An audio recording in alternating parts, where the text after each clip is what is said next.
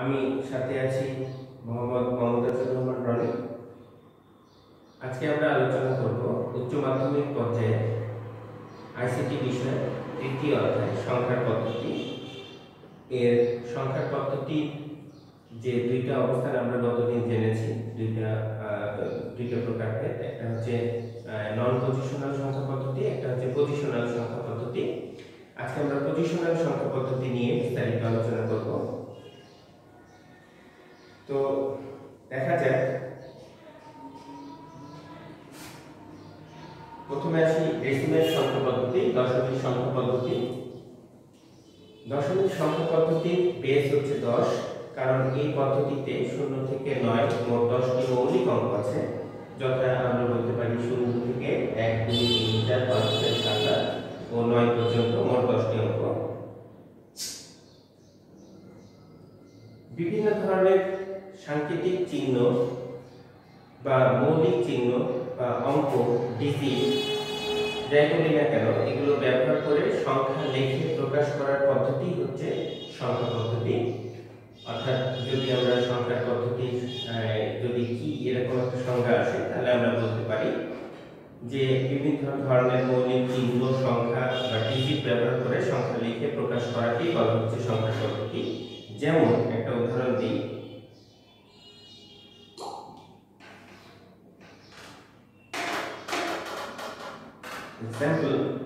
মনে করো, এই যে বারো লিখলাম, একটা সংখ্যা লিখলাম ওয়ান টু পাশাপাশি লিখে এই সংখ্যা থেকে বলছি বারো, কারণ দুইয়ের স্থানীয় মান হচ্ছে দুই গুণত দশ জিরো, অর্থাৎ স্থানীয় মান আমরা বের করছি। তাহলে দুই গুণিত এক একক, ঠিক একের স্থানীয় মান এক গুণিত দশ এক, অর্থাৎ এক গুণিত দশ, তার মানে দশক। একের স্থানীয় মান দশক। ঠিক এইভাবে করে আমরা স্থানীয় মান বের করি এবং আমরা তার পজিশন বলে থাকি যে দুই এখানে একক পজিশনে এবং এক হচ্ছে দশক পজিশনে আছে। সংখ্যা পদ্ধতির সাহায্যে সহজে গণনা প্রকাশ করা যায়। প্রকৃতপক্ষে সংখ্যা পদ্ধতি হলো সংখ্যা প্রকাশের একটি নির্দিষ্ট নিয়ম, যাতে নিচের বিষয়গুলো অবশ্যই থাকতে হবে, আমরা দেখে নিই। সংখ্যাকে নির্দিষ্ট প্রতীকের সাহায্যে প্রকাশের সুনির্দিষ্ট নিয়মাবলী থাকতে হবে। দুই সংখ্যার যোগ, বিয়োগ গুণ ভাগ ইত্যাদি নির্ণয় করার সুনির্দিষ্ট নিয়মাবলী। তিন, সংখ্যা বিভিন্ন রূপ, যেমন ভগ্নাংশ, ধনাত্মক, ঋণাত্মক ইত্যাদি প্রকাশের সুনির্দিষ্ট বা পরিপূর্ণ নিয়মাবলী। এরপরে আসো, আমরা জেনে নিই অঙ্ক বা ডিজিট কাকে বলে। সংখ্যা তৈরির ক্ষুদ্রতম প্রতীকী হচ্ছে? ডিজিট বা অঙ্ক, বাইনারি সংখ্যা প্রকাশ করার জন্য শূন্য এবং এক এই দুইটি অঙ্ক ব্যবহার করা হয়। উদাহরণস্বরূপ আমরা বলতে পারি, এখানে একটা দেখো, বাষট্টি হাজার তিনশত চার দশ পাঁচ এই সংখ্যাটি লেখা আছে। অর্থাৎ এই সংখ্যাগুলো পাশাপাশি বসে পাঁচটি আলাদা আলাদা অঙ্ক সমন্বয়ে গঠিত হয়েছে। এই এই অঙ্কটি ছয়, দুই, তিন, চার ও পাঁচ, এই পাঁচটি আলাদা আলাদা অঙ্ক সমন্বয়ে বসেছে এবং এদের অবস্থান অবস্থান ব্যাখ্যা করছে যে ছয় হচ্ছে গিয়ে দেখো একক, দশক, শতক, হাজার অযুত অর্থাৎ বাষট্টি হাজার। আর ছয়ের পজিশনটা অনেক বড় এবং পাঁচের পজিশনটা এখানে সবচেয়ে ছোট। নাম্বার তাহলে নাম্বার যদি আমরা হিসাব করি কয়টা অঙ্ক, তাহলে আমরা দেখব যে প্রথমে পাঁচ আছে, অর্থাৎ এক, তারপরে দুই, তারপরে তিন, তারপর চার, পাঁচ পাঁচটা অঙ্ক ব্যবহার করা হয়েছে এখানে। সংখ্যা পদ্ধতির ভিত্তি, তাহলে আমরা জেনে নিই ভিত্তি কি। কোন সংখ্যা পদ্ধতি লিখে প্রকাশ করার জন্য যতগুলো মৌলিক চিহ্ন বা অঙ্ক ব্যবহার করা হয়, তার সমষ্টিকে বলা হয় সংখ্যা পদ্ধতির ভিত্তি। যেমন, দশমিক সংখ্যা পদ্ধতি হচ্ছে শূন্য, এক, দুই, তিন, চার, পাঁচ, ছয়, সাত, আট, নয় পর্যন্ত এই দশটি চিহ্ন ব্যবহার করা হয়েছে, তাহলে দশমিক সংখ্যা পদ্ধতির ভিত্তি হচ্ছে দশ। ঠিক এইভাবে বের করব আমরা? যেমন ধরো একক দশক শতক এই অবস্থানটা বের করা যায়।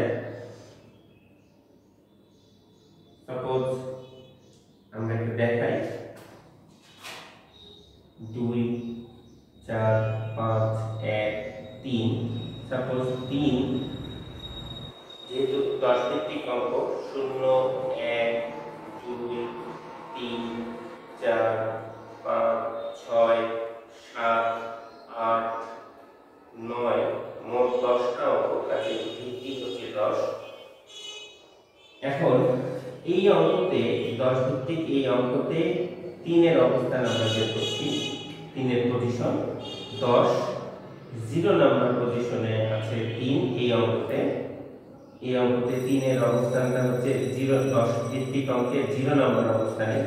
সুতরাং সুতরাং তিন গুণিত দশ অর্থাৎ তিন গুণিত এক সমান সমান তিন একক। ঠিক একইভাবে এক, এই একটা দেখি এক গুণিত দশ। দশের কত নম্বর অবস্থানে আছে দেখে নিই। দশের এক নম্বর অবস্থানে আছে, অর্থাৎ এককের ঘরে আছে। তাহলে এক গণিত দশকে দশ সমান সমান তাহলে কি হচ্ছে?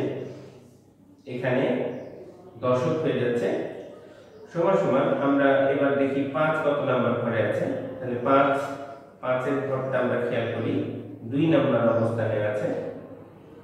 দুই নম্বর অবস্থানে আছে, তাহলে আমরা কি- করব? এই পাঁচটাকে এই পাঁচটাকে পাঁচ গুণিত দশ দুই। ঠিক একইভাবে চার গুণিত দশ তিন। এবং দুই গুণিত দশের চার নম্বর তাহলে এখানে খেয়াল করো, তাহলে পাঁচ গুণিত একশো পাঁচশত চার গুণিত দশ এক হাজার, এবং দুই গুণিত দশ হাজার। এইভাবে আমরা পজিশন বের করে থাকি, তাহলে হচ্ছে পাঁচশো চার হাজার আর দুই এক দুই তিন চার। টোটাল অঙ্ক যদি আমরা এবার এই পাশে যোগ করি, তাহলে আমরা যে মানটা পাবো সেটা হচ্ছে দুই, চার, পাঁচ, এক, তিন এই অঙ্কটা পাবো। তাহলে এই অঙ্কটার অবস্থান আমরা দেখতে পেলাম যে তিনের সাথে দশের শূন্য অবস্থানে আছে। কাজে তিন একক অবস্থান, আর এক দশকের এক নম্বর অবস্থানে আছে। তাহলে এক হচ্ছে দশক অবস্থান, পাঁচ হচ্ছে শতক অবস্থান চার হচ্ছে হাজার অবস্থান এবং দুই হচ্ছে অযুতের অবস্থানে আছে। কাজে সম্পূর্ণ টোটাল যোগ করলে যে যোগফলটা পেলাম, সেটাই হচ্ছে আমাদের দশমিক সংখ্যা পদ্ধতির অবস্থান্তর অঙ্ক এবার আসলে আমরা একটু পড়ায় জেনে নিই। যেখানে একটা ছোট্ট উদাহরণ দেওয়া আছে যে এর নাম্বার সিস্টেম দশমিক অঙ্ক অঙ্ক কীভাবে করতে হয় আমরা এখানে জেনে নিয়েছি।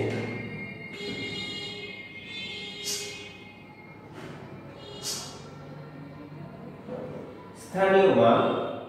সংখ্যাটির যে স্থানে অঙ্কটি বা প্রতীকটি অবস্থান, তাকে স্থানীয় মান বলে। সংখ্যাটি যে স্থানে অঙ্কটি বা প্রতীকটির অবস্থান, তাকে স্থানীয় মান বলে। ভিত্তি যত তার উপরে নির্ভর করে সংখ্যার ডান দিক থেকে বাম দিকে প্রতিটি স্থানীয় মান যোগফলের একটি পূর্ণ সংখ্যা গঠিত হয়। অর্থাৎ স্থানীয় মানের পূর্ণ সংখ্যা কীভাবে গঠিত হয়? আমরা এখানে করে দেখালাম যে স্থানীয় মানের পূর্ণ সংখ্যা যে এই যে এখানে আমরা যেখানে আছে সেই অবস্থানটাই হচ্ছে ভিত্তির স্থানীয় মান। যেমন মনে করো থ্রি ফাইভ নাইন এই সংখ্যাটা স্থানীয় মান আমরা বের করব দশ ভিত্তিক অঙ্কের। তাহলে তিন গুণিত দশ আমরা এইভাবে করতে পারি, আবার এইভাবে করতে পারি, আবার আমাদেরকে বলা হচ্ছে কি পূর্ণ সংখ্যা ডান থেকে বামের দিকে টোটাল যোগ করলে পারে দশ ভিত্তিক অঙ্কে ডান থেকে বামে যোগ করলে পারে, যে মানটা পাওয়া যায়, সেটাই হচ্ছে আমাদের পূর্ণ সংখ্যা তাহলে দশের জিরো, ওয়ান, টু, তাহলে খেয়াল করো, তিন গুণিত একশো, পাঁচ গুণিত দশ, এবং নয় গুণিত তাহলে আমরা পেলাম তিন শত পাঁচ দশ নয়। এইটা একটা এই টোটাল অঙ্কগুলো সমষ্টি হচ্ছে একটা থ্রি ফাইভ নাইন এটা সমষ্টি হচ্ছে একটা পূর্ণ সংখ্যা। এটার সমষ্টিটাই পেলাম একটা পূর্ণ সংখ্যা। এখানে একটা উদাহরণ দেওয়া আছে, দেখো। পাঁচশো পঞ্চান্ন দশ ভিত্তিক সংখ্যার স্থানীয় মান বিশ্লেষণ করে গঠন করে দেখানো হলো। এখানে ভিত্তি যার ভিত্তি হচ্ছে দশ।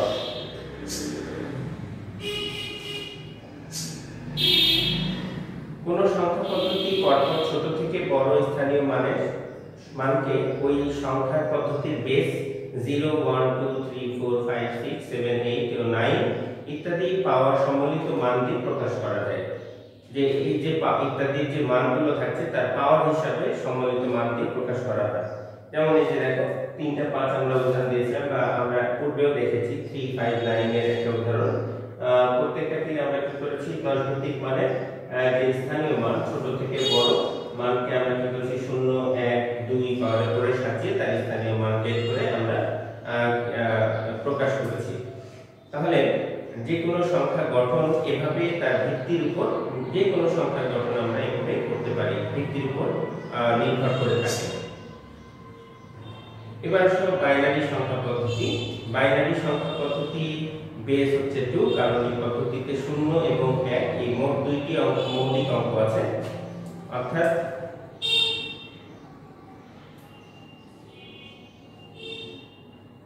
শূন্য এবং এক, শূন্য দিয়ে আমরা বোঝাই শূন্য দিয়ে বোঝাই অফ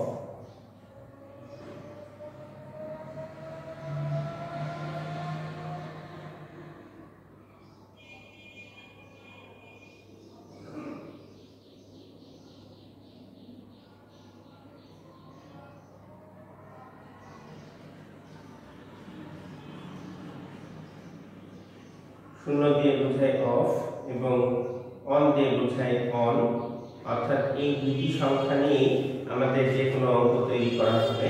এক্সাম্পল হচ্ছে ওয়ান জিরো ওয়ান দশমিক ওয়ান ওয়ান জিরো এই সংখ্যাটি একটি বাইনারি সংখ্যা।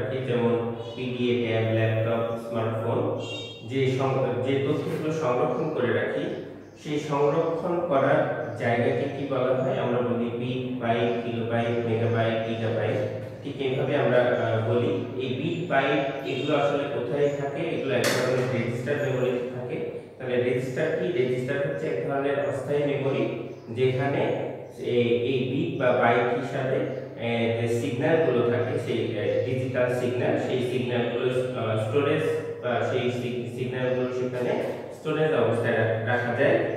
এখন আসো, এই যে বিট বা বাইট যেমন ধরো আমরা কীভাবে হয়, সেটা আমরা দেখে নিই।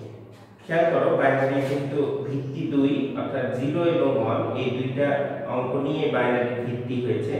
যাতে আমরা কিছুক্ষণ আগে স্থানীয় মান শিখলাম, যে স্থানীয় মান যে অঙ্কটা থাকবে, তার যে অঙ্ক শুরু থাকবে সেই শুরুটাই হবে তার পাওয়ার এবং সেই পাওয়ারটা হিসাব করলেই তার স্থানীয় স্থানীয় মান বের হয়ে যাবে। আর পূর্ণ সংখ্যার ক্ষেত্রে স্থানীয় মান বের হবে ডান থেকে বাম দিকে স্থানীয় মানগুলো বসিয়ে সম্পূর্ণ মানকে যোগ করলে যে মান যাবে সেটি হবে পূর্ণ সংখ্যা খেয়াল করে দেখো, আমরা এই দুই অঙ্কের স্থানীয় মান বের করতে চাই। তাহলে এই দুই অঙ্কের স্থানীয় মান বের করার জন্য আমরা কি করব?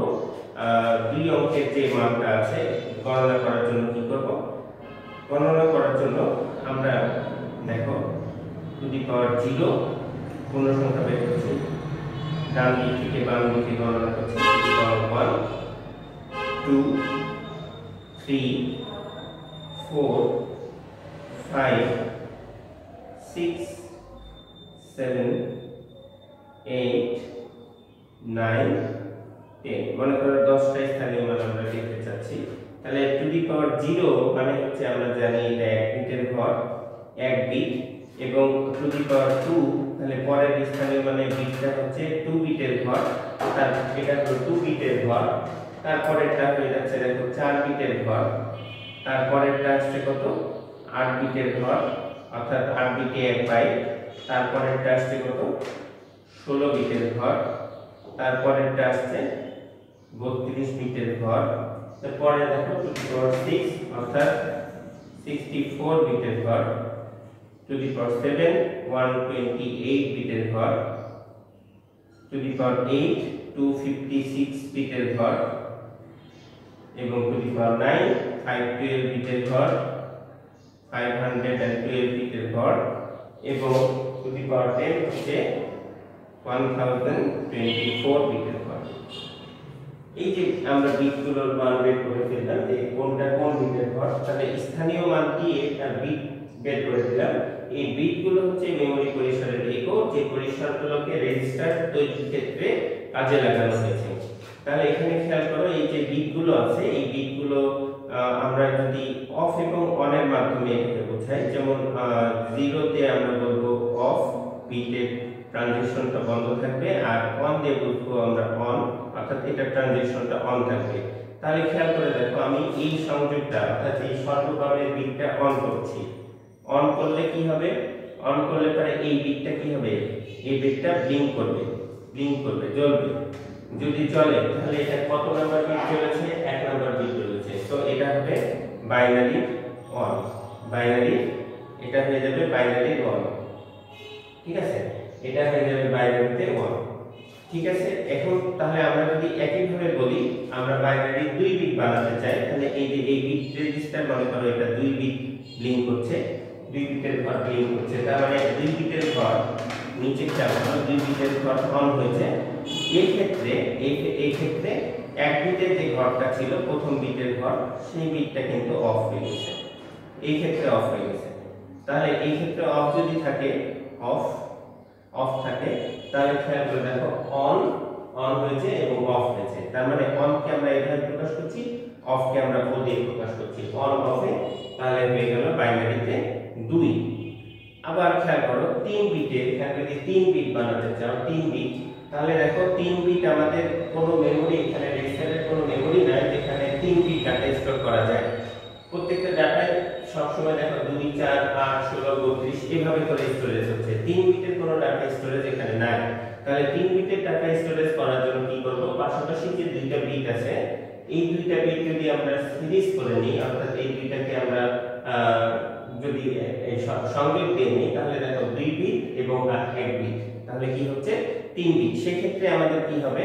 আমাদের এই এই ক্ষেত্রে দুইটা বিটই ব্লিঙ্ক করবে। অর্থাৎ দুইটা বিটটাকে আমাদের জ্বলায় দিতে হবে। তার মানে এই বিটটা অন করতে হবে, এটা দুই বিটের ঘর অন হলো এবং এই বিটটা অন করতে হবে, এটা এক বিটের ঘর হলো। তাহলে এইটা অন হচ্ছে দুই বিটের ঘর এইটা অন হয়েছে এক বিটের ঘর। তাহলে দুই আর এক যোগ করলে কত বিট হচ্ছে? তিন বিট। এই জন্য বাইনারিতে এটা অন এবং এটা অন এই অন অনের মান হচ্ছে তিন। ঠিক একইভাবে দেখো, যদি চার বিট বলা হয়, চার বাইনারিতে চার বানাও, তাহলে খেয়াল করে দেখো, আমরা এখানে চার বিটের এই যে যে সরাসরি আমরা দেখছি চার বিট, এখানে দেখো চার বিট। এই চার বিটের সুইচ এটা অন হলো। তার মানে এখানে আমরা অন করে দিই। এই অন হলো। আর কি হবে? তাহলে এই দুইটা বিট কি হবে? জ্বলবে না বন্ধ থাকবে? তাহলে অবশ্যই আমরা চার বিটে অন পেয়ে গেছি মানে চার পেয়ে গেছি। তাহলে কি হবে আমাদের? আর বাকি দুইটা অফ থাকবে। তাহলে এই দুইটা হচ্ছে অফ থাকবে। এটা এটা অফ থাকবে। তার মানে এই বিটগুলো ব্লিঙ্ক করবে না, এগুলো ব্লিঙ্ক করবে না। এগুলো ব্লিঙ্ক করবে না। তাহলে হয়ে গেল ওয়ান জিরো জিরো তাহলে খেয়াল করে দেখো বাইনারিতে পাঁচ তৈরি হয়ে গেল। ঠিক একইভাবে যদি তুমি ছয় বানাও, তাহলে কি করবে? ছয় দেখো কি কীভাবে ছয় হয়? চার বিট, দুই বিট, এই দুইটা যদি আমরা সিরিজ করে নিই আগের মতো, তাহলে আমরা তিনের মতো যেমন দুই আর এক বিট যোগ করলাম, তাহলে তিন হলো। ঠিক একইভাবে চার বিট এবং দুই বিট অন করে দিলে কিন্তু এক বিট অফ থাকে, তাহলে হয়ে গেল ছয়। এখন চার বিটে আমরা কি করব? চার বিটের সংযোগ অন দিব, দুই বিটের সংযোগ অন করব অন করব। তার মানে হয়ে যাচ্ছে, তার মানে হয়ে যাচ্ছে চার বিট প্লিং করছে, দুই বিট প্লিং করছে, এক বিট আমাদের অফ থাকছে তাহলে খেয়াল করে দেখো, তাহলে খেয়াল করে দেখো অন অন ও এই মিলে হয়ে গেল ছয়। নিশ্চয় বোঝা যাচ্ছে, তাহলে এখন যদি বলা হয়, এখন যদি বলা হয় যে তুমি সাত বানাও, এখন যদি বলা হয় যে তুমি সাত বানাও, তাহলে কিন্তু অনেক সহজ। আমরা এখানে সাত পেয়ে যাব। খেয়াল করে দেখো সাত বানানো কত সহজ।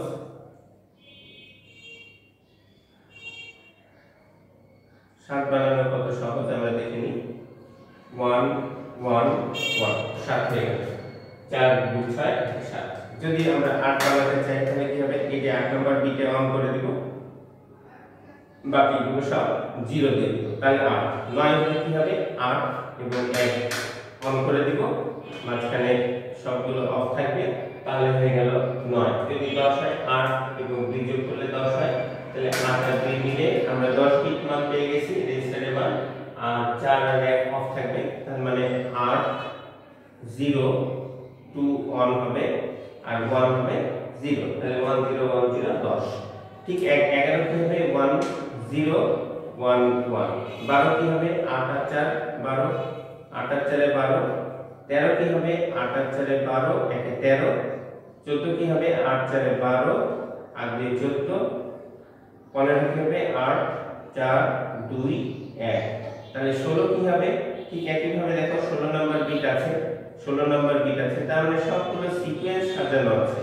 এই এই যে মেমোরি সিকোয়েন্সটা আছে, এই মেমোরি সিকোয়েন্সটা যদি আমরা মনে রাখি, তাহলে আমাদের বাইনারি কাউন্ট করা খুবই সহজ হয়ে যাবে। এই বাইনারি সিকোয়েন্সটা মনে রাখতে পারলে আমাদের এই অধ্যায়ে যে কোনো বাইনারি মান কত লেখা হলো সংক্ষে- সংক্ষেপে সেটা আমাদেরকে ক্যালকুলেটর বা অন্য কোনো মানে হেজিটেশনের মধ্যে থাকতে হবে না? আমরা দেখি গণনা করে ফেলতে পারব মুখে মুখে। খেয়াল করে দেখেন, এখানে এমসিকিউ কীভাবে আসে? টোয়েন্টি সেভেন টোয়েন্টি সেভেন যদি বলা হয় এর দশমিক থেকে এর বাইনারি মান কত? এখন নিশ্চয়ই তোমরা বের করে ফেলতে পারবা। খেয়াল করে দেখো, সাতাশের বাইনারি মান কত হয়? আমি এই মানগুলো মুছে দিচ্ছি।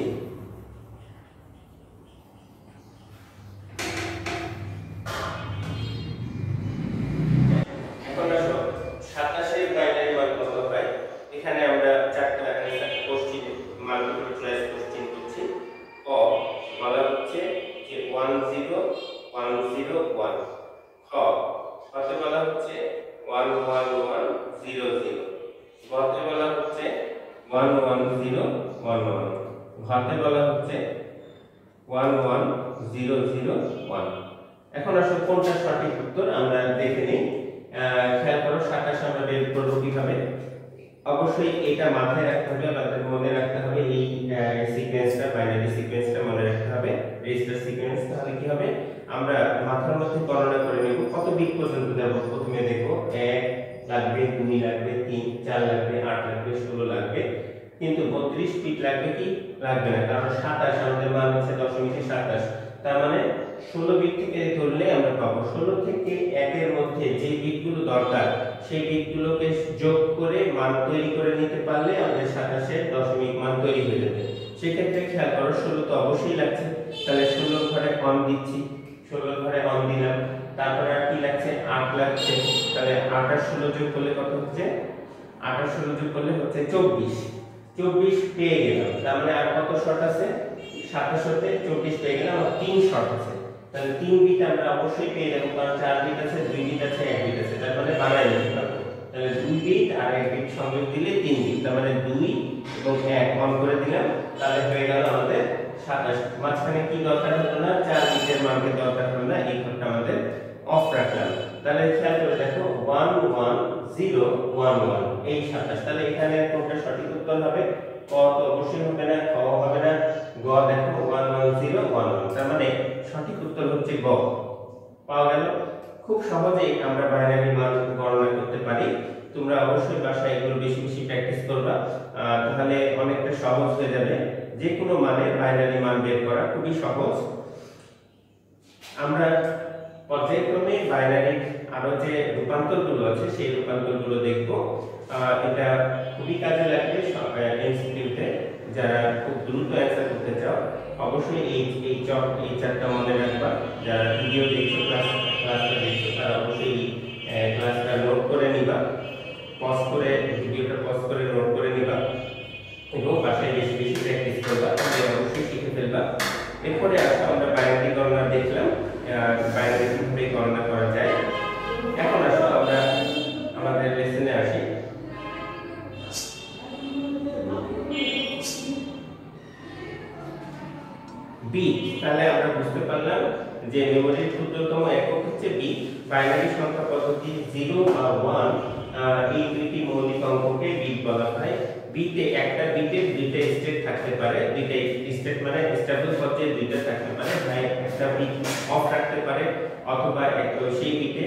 অবস্থায় থাকতে পারে, এই দুইটা স্টেট থাকতে পারে।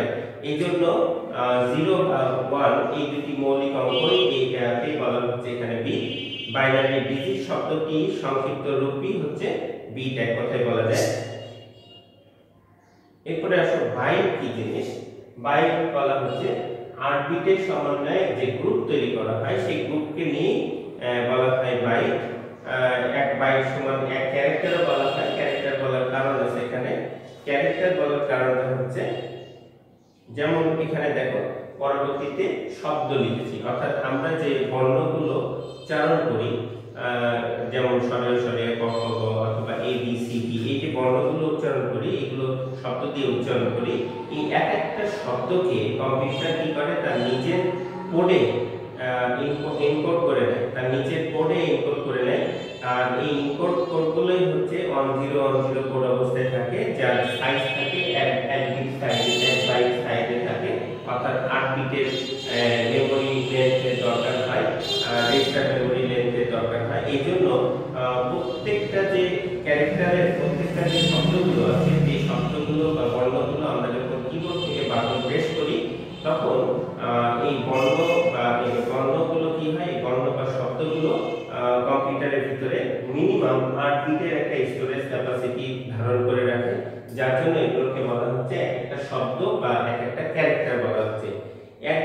বিট বা বাইট নিয়ে গঠিত শব্দকেই কম্পিউটার শব্দ বলা হচ্ছে এই কারণে। সুতরাং দেখা যাচ্ছে আট বিটে হয় এক বাইট এরকম করে দুই দেখা যাচ্ছে আট আট, ষোলো বিটে হবে তাহলে অবশ্যই দুই বাইট তার মানে এক বিটে যদি এক ক্যারেক্টার বলে, দুই বাইটে হবে দুইটা দুইটা শব্দ বা দুইটা ক্যারেক্টার এই ক্যারেক্টারগুলো নিয়ে আমরা বিস্তারিত আলোচনা করব কীভাবে এইগুলো আট বিটেই হচ্ছে। নয় বিটে কেন হচ্ছে না? এগুলো বিষয় নিয়ে আমরা আলোচনা করব। তো পরবর্তীতে আসো অক্টাল সংখ্যা পদ্ধতি নিয়ে আলোচনা করি। অক্টাল সংখ্যা পদ্ধতি বেস হচ্ছে আট, কারণ এই পদ্ধতিতে শূন্য থেকে সাত মোট আটটা অঙ্ক আছে। আমরা অবশ্যই জানি যে একটা একটা পদ্ধতি একটা পদ্ধতি যতগুলো অঙ্ক থাকবে, তার অঙ্কের সমষ্টি হচ্ছে তাদের ভিত্তি বা বেস অর্থাৎ এখানে দেখো শূন্য এক, দুই, তিন, চার, পাঁচ, ছয় ও সাত। মোট আটটি মৌলিক অঙ্ক আছে। কাজে এদের ভিত্তি হবে আট এখানে খেয়াল করো, আট ভিত্তিক অঙ্কের, আট ভিত্তিক অঙ্ক খেয়াল করে দেখো। আমরা এখানে লিখে দিই, যেমন two eight seven point three nine. এটা কি অবশ্য, এটা কি হবে? আটভিত্তিক অঙ্ক। এটা কি হবে আটভিত্তিক অঙ্ক? এটা অবশ্যই হবে না। কেন? এই অক্টালের অঙ্কর মধ্যে অবশ্যই আট এবং নয়। এদের মান কিন্তু কোথা এই স্থানীয় অঙ্কগুলোর মধ্যে মৌলিক অঙ্কগুলোর মধ্যে নাই। যেহেতু নাই, এই মৌলিক অঙ্কগুলোর মধ্যে যেহেতু আট এবং নয় এই দুটো অঙ্ক নাই। কাজে এরা কিন্তু অক্টাল নাম্বার হবে না। তাহলে সঠিক উত্তর কোনটা হবে? Three, five, seven, one, two, three. এইটা হবে সঠিক অ্যান্সার, কারণ এটার মধ্যে কোনো আট এবং নয় এদের কোনো অঙ্ক নাই, যার ফলে এটা সঠিক অ্যান্সার হবে।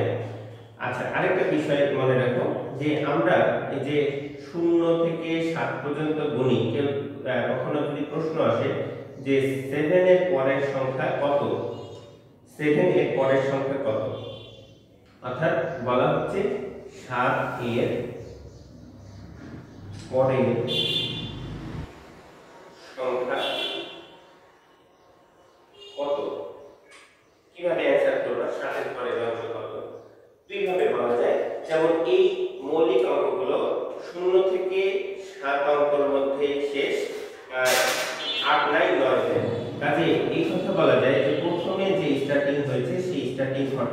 Divertido 10.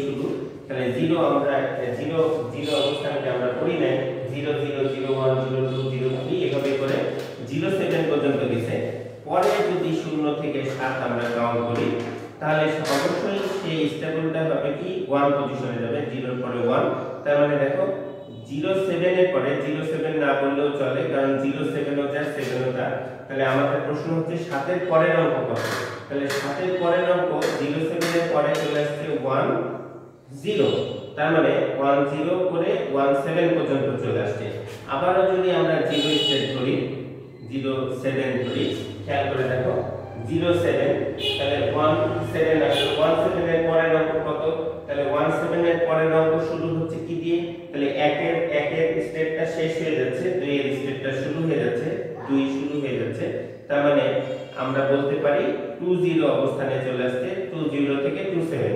তার মানে অক্টাল সংখ্যা পদ্ধতিতে, অক্টাল পদ্ধতি সংখ্যা পদ্ধতিতে দেখো কোনো আট এবং নয় আসছে না, কোনোভাবেই আসছে না। আবার খেয়াল করে দেখো, যদি এইভাবে করে আমরা, এইভাবে করে আমরা যদি বলি তাহলে মানে সাতের স্থানীয় মান সাতের পরের মানটা পেলাম কত আমরা দশ। কিন্তু এখন বলা হচ্ছে, এখন বলা হচ্ছে যে সেভেন সেভেনের পরের অঙ্ক সাতাত্তরের পরের অঙ্ক খেয়াল করে দেখো, এইভাবে করে যদি আমরা যেতে থাকি, সাত পর্যন্ত অর্থাৎ জিরো সেভেন, এই সাত পর্যন্তই যেতে থাকি, সাত পর্যন্তই যেতে থাকি, তাহলে দেখো, সাতাত্তরের পরে কি আসছে? কারণ একটু আগে বললাম, সাতের পরের অঙ্ক চলে আসছে দশ নম্বর কাউন্টে। যদি সাতের পরে দশ নম্বর কাউন্টে চলে আসে, তাহলে সাতের পরে, অর্থাৎ সাত সাতের পরের অঙ্ক কত হবে? খেয়াল করো আবার যদি জিরো সেভেন থাকে আবার যদি জিরো সেভেন থাকে তাহলে এটার গণনা কততে আসছে? দশে চলে আসছে। সাতের পরে সাতের পরে অবস্থান চলে আসছে দশে। তার মানে দশ আর এই জিরো, তার মানে কত হয়ে যাচ্ছে? একশো হয়ে যাচ্ছে। তার মানে একশো থেকে এখানে কত আছে? একশো সাত পর্যন্ত আছে।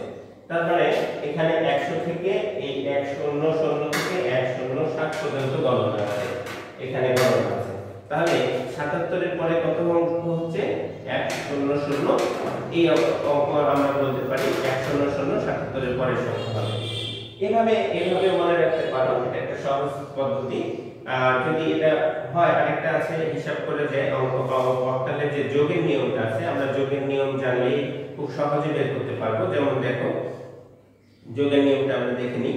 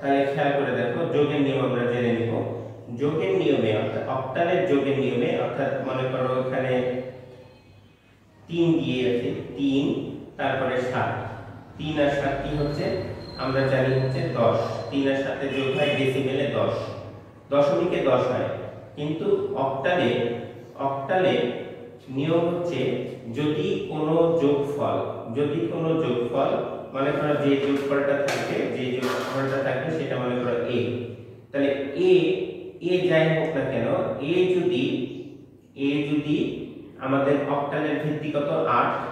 আট হচ্ছে ভিত্তি, মোট আটটি অঙ্ক আছে, তাহলে আট হচ্ছে ভিত্তি। যদি এ এ মানে হচ্ছে এই দুইটার যোগফল, তিন এবং সাতের যোগফল মনে করো এ। এটা যদি আটের আটের সমান বা তার চাইতে বড় হয়, অর্থাৎ ভিত্তি আটের সমান যোগফল পায় বা তার চাইতে বড় হয়, তাহলে কি করতে হবে? তাহলে আমাদেরকে এই যে সংখ্যাটা হলো সেই সংখ্যাকে অক্টালের বেস দিয়ে ভাগ করতে হবে। অর্থাৎ এই যে দেখো অক্টালের বেস কত আছে? 8 এই আট সংখ্যা দিয়ে আমরা যে 8 এর সমান বা 8 এর চাইতে বড় যোগফল যোগ করে কত পেয়েছি? তিন আর সাত যোগ করে বেশি হয়েছে আমাদের কত আসছে? দশ। তার মানে এই দশ সংখ্যাকে আমাদেরকে আট দিয়ে ভাগ করতে হবে। আট দিয়ে ভাগ করি। তাহলে আট দিয়ে ভাগ করলে কি হবে? তাহলে আটের কে আট। তাহলে এখানে কত পাওয়া যাচ্ছে? দুই। তাহলে দুই হচ্ছে কি আমাদের? এখানে যে ভাগশেষটা থাকবে, এই ভাগশেষটা হবে ক্যারি এবং সরি সাম এবং এক হবে এই ভাগফলটা হবে এই অঙ্কের জন্য ক্যারি অর্থাৎ এখানে খেয়াল করে দেখো, এখানে খেয়াল করে দেখো এটা হচ্ছে গিয়ে সাম এবং এটা হবে গিয়ে ক্যারি তার মানে এখানে আমরা অক্টালের মান পাচ্ছি দেখো 10 পর্যন্ত গেলে কি হয়? অর্থাৎ আমরা হাতেও গুণে নিতে পারি বা পর্যায় ক্রম অনুযায়ী সাজিয়ে নিতে পারি। সাতের পরে আট নাই, নয় নাই, দুইটা ঘর বাদ গেল। তার মানে আট নাই, নয় নাই, দুইটা ঘর বাদ চলে গেল। বাদ দেওয়ার পরে কি আছে? দশ, এগারো, বারো, এই দুইটা ঘর যোগ হয়ে গেল। অর্থাৎ অঙ্কটার উত্তর অক্টালের মান পাওয়া গেল, দেখো, দুই এবং এক। এটা হচ্ছে সঠিক উত্তর। তাহলে দুই এক হবে। ঠিক একইভাবে যদি এখানে ধরো এরকম অঙ্ক আসে, যেমন মনে করো, এখানে বলা হচ্ছে যে পাঁচ যোগ তিন সমান সমান ওয়ান জিরো কেন ব্যাখ্যা করো?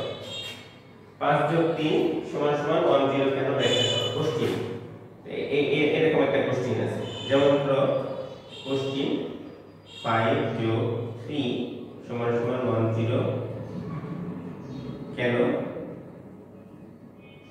ব্যাখ্যা করো।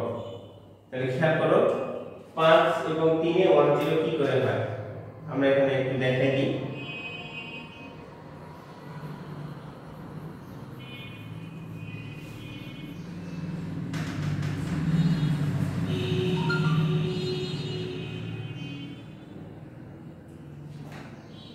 দেখো, পাঁচ আর তিন অক্টালের নিয়মে আমি বলছিলাম কি? নিয়মটা কি বলেছিলাম? এক নম্বর নিয়ম বলেছিলাম যে কোনো যোগফল যদি a এর সমান বা a আটের সমান বা তার চেয়ে বেশি হয়, তাহলে সেক্ষেত্রে হবে ভাগফল ভাগ করতে হবে বেসকে বেস দিয়ে ভাগ করতে হবে সেই সংখ্যাকে। তার মানে বেস বেস বেস আট বেস অক্টালে বেস আট আট দিয়ে কি করতে হবে? যে যদি a কে ভাগ করতে হবে, এক্ষেত্রে এখানে ভাগফল হবে ক্যারি ক্যারি এবং ভাগশেষ হবে ভাগশেষ হবে সাম, ঠিক আছে? তাহলে আমরা এইভাবে করি। যেমন দেখো, পাঁচ আর তিনে যোগ করলে কত হয়? পাঁচ আর তিনে যোগ করলে, পাঁচ আর তিন যোগ করলে কত হয়? আট হয়। তাহলে আমাদের এক নম্বর নিয়মটা ট্রু অর্থাৎ দেখো, এক নম্বরে এ এ হয়ে গেছে আট। এ আটের সমান লজ কন্ডিশন ট্রু হয়ে গেছে। ট্রু হওয়ার জন্য কি করতে হবে আমাদেরকে, আমাদের বেস যেটা আছে আট আট কে এ কে অর্থাৎ এ মানে কে এ মানে এই আট যোগফল আট এই আটকে আমরা ভাগ করব। তাহলে ভাগ করি আট দিয়ে আটকে ভাগ করো, তাহলে আটের কে আট তাহলে কি থাকছে অবশেষ? অবশেষ থাকছে হচ্ছে জিরো তাহলে আমরা যোগ- যোগফলে কি জানি? যোগফলে জানি পাঁচ যোগ তিন। এভাবে না, এভাবে দেখাই দিই। পাঁচ যোগ তিন। তাহলে কি হবে? এখানে সাম হচ্ছে গিয়ে জিরো আর ক্যারি হচ্ছে গিয়ে ক্যারি হচ্ছে গিয়ে ওয়ান তাহলে খেয়াল করে দেখো সাম হচ্ছে গিয়ে জিরো এটা এইটা হচ্ছে সাম নিচেরটা হচ্ছে এস অর্থাৎ সাম আর উপরটা হচ্ছে সি অর্থাৎ ক্যারি তাহলে কি হচ্ছে? সাম হচ্ছে গিয়ে জিরো এবং ক্যারি হচ্ছে ওয়ান তাহলে অক্টালের যোগ যোগফলে পাঁচ আর তিন যোগ করলে ওয়ান জিরো হয়, বুঝা গেছে? আচ্ছা এরপরে আসো এরপরে আসো আমরা তাহলে কীভাবে তাহলে আমরা সাতাত্তরের পরের অঙ্ক বের করব। একইভাবে যদি আমরা এই পদ্ধতি শিখে নিলাম, একইভাবে যদি আমরা এটা বের করি সাতাত্তরের পরের অঙ্ক কত বা সাতের পরের অঙ্ক কত? তাহলে খেয়াল করে দেখো, একইভাবে বলা যায়, সাতের পরের অঙ্ক কত? সাত যোগ এক। তাহলে সাতের পরের অঙ্ক কি হচ্ছে? যোগফল আট। তার মানে এক নম্বর কন্ডিশন ট্রু আমরা যেটা লিখে দিয়েছি এই যে, এই এই যে তারপরে বক্স দিয়ে ঘিরে দিলাম, এটা কি হয়ে যাচ্ছে? এই কন্ডিশনটা ট্রু হচ্ছে? যদি আমাদের যোগফল আটের সমান বা আট, আটের সমান হয়, তাহলে কি করতে হবে? বা আটের চাইতে এ এর মানটা বেশি হয়, তাহলে কি করতে হবে? অক্টালের যে বেজ আছে, সেই বেজ দ্বারা ভাগ করতে হবে। তাহলে ভাগ করলে কি হবে? আটের সমান বা আটকে আমরা আট দিয়ে ভাগ করে কি পেয়েছি? আমরা সাম পেয়েছি জিরো ক্যারি পেয়েছি ওয়ান তার মানে দেখো, এখানে কি হচ্ছে? আটের আমাদের প্রশ্ন কি ছিল? সাতের পরের অঙ্ক কত সাতের পরে এক যোগ করলে তার অবস্থানটা হয় সাতের পরে এক যোগ করলে তার অবস্থানটা হয় দশ। নিশ্চয় বুঝে গেছে? সাতের পরে এক যোগ করলে তার অবস্থানটা হয় অর্থাৎ নিয়মে জব দশ কি করে হয়? এই যে আমরা এটা থেকে আট পেলাম, এই আটকে আমরা কি করলাম? চিন্তা ভাবনা করে এই কন্ডিশনে ভেঙে নিলাম, ভাগ করে নিলাম, ভাগ করে নেওয়ার পরে আমরা উত্তরটা পেলাম শূন্য এবং ক্যারি পেলাম ওয়ান অর্থাৎ শূন্য এক সাতের পরে যদি এক হয়, তাহলে তার অবস্থানটা হয় কত? ওয়ান জিরো ঠিক একইভাবে সাতাত্তরের পরের সংখ্যা কত যদি বের করতে চাও, তাহলে খেয়াল করো, সাতাত্তরের পরের সংখ্যা, সাতাত্তরের পরের সংখ্যা আমরা বের করব। তাহলে এখানে কি করব? সাতাত্তর যোগ এক করে নেব। এখানে আমরা করব কি? এখানে আমরা করব কি? সাতাত্তর যোগ এক। তাহলে সাতাত্তর যোগ এক। তাহলে সাতাত্তর যোগ এক হলে কত হয়? আটাত্তর হয়ে যায়। তাহলে আটাত্তর হলে কি বলেছি আমরা? বেদ আটের সমান বেদ আটের সমান হতে হবে অথবা এ এর মানটা আটের চেয়ে বেশি হলে তখন আমরা কি করব? আমরা এ কে, আমরা এ কে এ কে কি করব? বেস আট দিয়ে ভাগ করব। বেস আট দিয়ে ভাগ করব। এখানে হচ্ছে ভাগফলটা হচ্ছে এই ক্যারি হবে এবং ভাগশেষ হবে সাম। ঠিক আছে? বেজ আট দিয়ে ভাগ করব? এই সিদ্ধান্তটা নিব। তাহলে তাই করি। এখানে কত পাচ্ছি? এ। এ আমরা কত পাচ্ছি? এ পাচ্ছি হচ্ছে আটাত্তর। পেয়ে গেছি এ। তার মানে আমরা কি করব? আটাত্তর কে বেজ আট দিয়ে ভাগ করব। তাহলে বেজ আট দিয়ে আমরা আটাত্তর কে ভাগ করে দেই। তাহলে আট নং বাহাত্তর, আট নং বাহাত্তর, তাহলে কত হচ্ছে? আট থেকে দুই দিয়ে করলে হচ্ছে ছয়। তাহলে এখানে উত্তর কত পাচ্ছি? এখানে উত্তর পাচ্ছি, দেখো উত্তর পাওয়া যাচ্ছে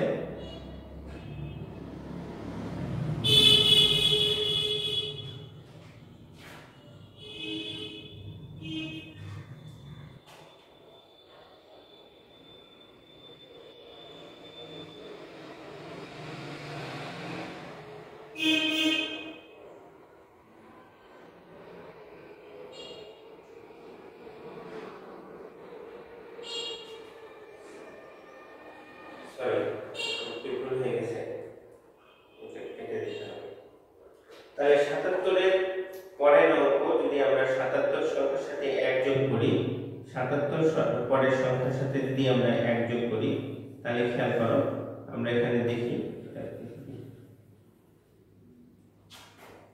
এক যোগ করি তাহলে আমরা দেখো কীভাবে যোগ করছি সাত সাত যোগ এক তার মানে এই যে সাত আর একে হয়ে যাচ্ছে আট আমরা কি করতে পারছি যেহেতু আট হচ্ছে আটকে আমরা আট দিয়ে ভাগ করছি যেহেতু আটের সমান বা তার চেয়ে বেশি হলে ভাগ করতে বলছে, তাহলে আটেরকে আট, তাহলে হয়ে গেল এই যে শূন্য।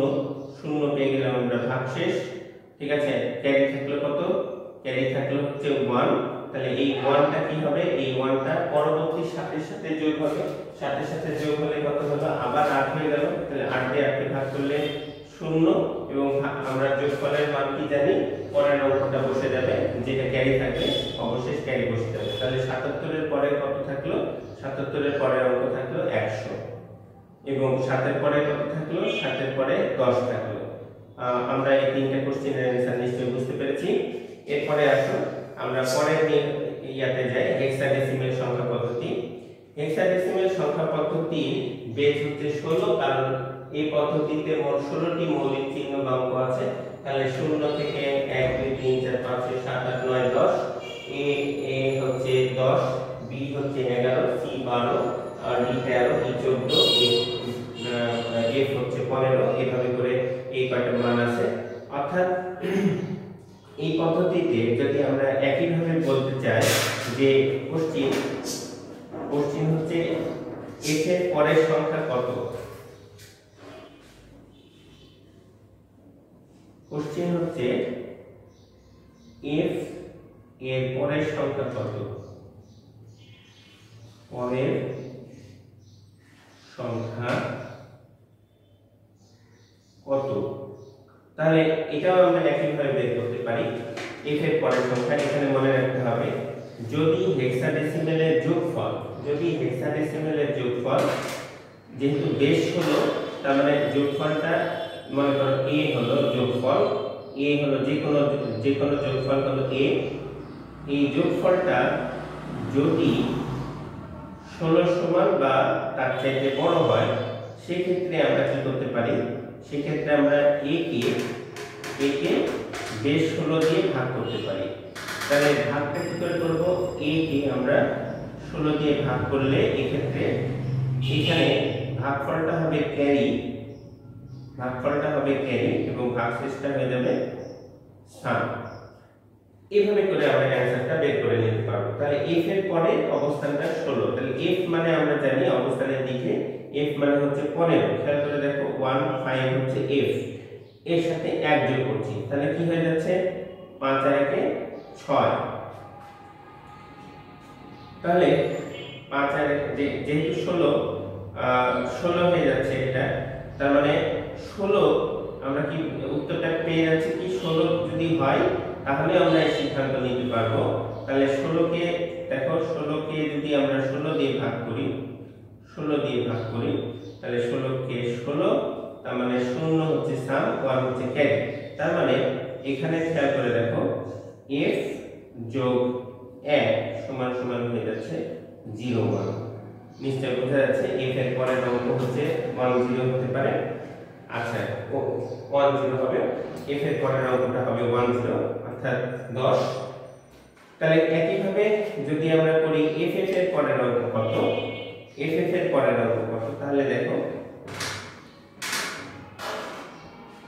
এফ এফ এর পরের অঙ্ক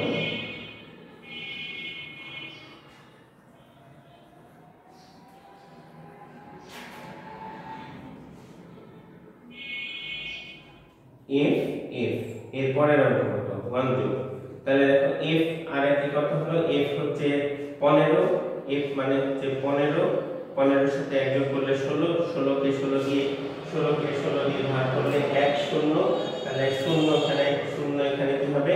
এখানে সাম হিসাবে বসলে শূন্য হাতে থাকছে এক, এই একটা থাকছে, তাহলে এই এক আবার পনেরোর সাথে যোগ হবে, পনেরো একে ষোলো ষোলো, ষোলোকে আবার ষোলো দিয়ে ভাগ করলাম, ভাগ করলে একই জিনিস থাকল, তাহলে এখানে থাকল কি?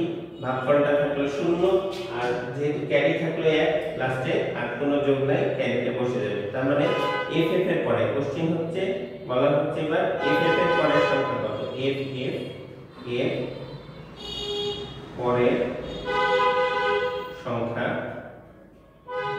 সংখ্যা কত? তার মানে আমরা পাচ্ছি হচ্ছে এফ এফ এর পরের সংখ্যা হচ্ছে একশো। নিশ্চয় কোথায় গেছে?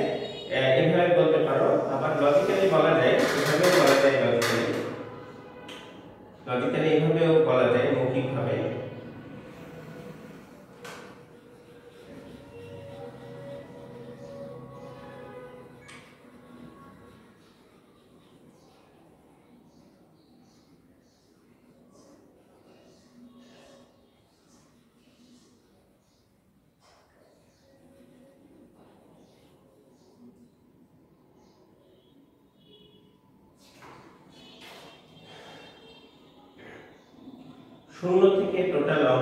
হেক্সাডেসিমেলে শূন্য থেকে এফ পর্যন্ত। তাহলে এফ হচ্ছে জিরো দিয়ে শুরু হলো।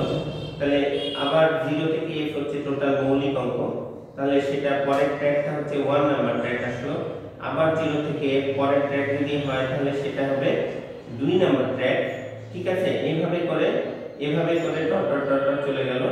জিরো থেকে এফ পর্যন্ত এই ট্র্যাকিং সিস্টেমটা হচ্ছে গিয়ে নয় নাম্বার ট্র্যাক তারপরে চলে আসলো এ নয় পরে যেহেতু এ আছে, তাহলে এ ট্র্যাক হলো জিরো থেকে এফ পর্যন্ত এ ট্র্যাক তারপরে এভাবে চলে আসলো বি বি জিরো থেকে জিরো থেকে এফ পর্যন্ত জিরো থেকে এফ পর্যন্ত হচ্ছে বি তারপরে এভাবে করে চলে আসলো এফ এফ জিরো থেকে তোমার হচ্ছে এফ পর্যন্ত হচ্ছে এফ এর ঘর।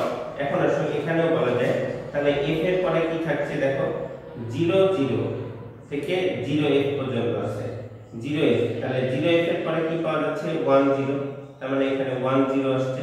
আহ, তারপরে কি থাকছে? ওয়ান এফ ওয়ান এফ থাকছে। ওয়ান এফ যখন শেষ হয়ে যাচ্ছে এখানে ওয়ান এফ যখন শেষ হয়ে যাচ্ছে কাউন্টটা তখন হচ্ছে কি? Two zero two zero two one two three two four two five two six two seven এরকম করে two A two B two C two D এরকম করে আসছে টু এফ পর্যন্ত। টু এফ পর্যন্ত। ঠিক এভাবে থ্রি ফোর এভাবে নাইন জিরো নাইন জিরোর পরে নাইন এফ আসলো। তারপরে কি আসলো? নাইন এফ নাইন এফ এর পরের সংখ্যা কত যদি বলে নাইন এফ এর পরে হচ্ছে এ জিরো আসলো। এ জিরোর পরে এ এফ আসলো। এফ এর পরে আবার B zero B F C zero C F এভাবে করে আসছে। এফ জিরো থেকে এফ এফ এফ জিরো থেকে এফ জিরো থেকে এফ এফ আসলো। তাহলে এখন এফ এফ এর পরে কি হচ্ছে? যেহেতু আমরা এফ এর পরে, এই এই এফ এর পরে আমরা কত জানি? আসছে 10 তাহলে 10 তাহলে দেখো, আবার হচ্ছে 0 থেকে f তার মানে এফ এফ এর পরে আমাদের প্রশ্নটা হচ্ছে এফ এফ এর পরে কত ছিল? এফ এফ এর পরে ছিল 100 এবং আহ, 100 এগুলোতে কত দূর গেছে? 100 এফ ঠিক এভাবে করে আমাদের কাউন্টিং সিস্টেমটা করা যায়। এটা খুব সহজ পদ্ধতি। আহ, আগেরটা আমরা দেখলাম হেক্সা পদ্ধতির যোগের নিয়ম অক্টালেও একই সিস্টেমে তোমাদেরকে শেখানো হলো। যে কোনো ভাবে তোমরা এটা হিসাব করে বের করতে পারো। আচ্ছা এরপরে আসো, আমরা এখানে কিছু প্রশ্ন আছে, যে প্রশ্নগুলো আমরা দেখব।